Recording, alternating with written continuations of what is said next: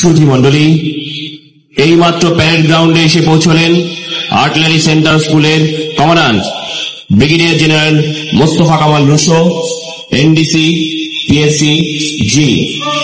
তাকে অভ্যর্থনা জানালেন প্রশিক্ষণ রেজিমেন্টের প্রধান প্রশিক্ষক, colonel S M Moniruzzaman, BGBN, PBGN.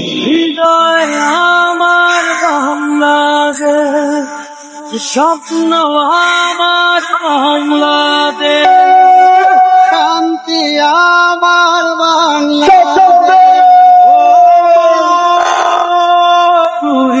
আমার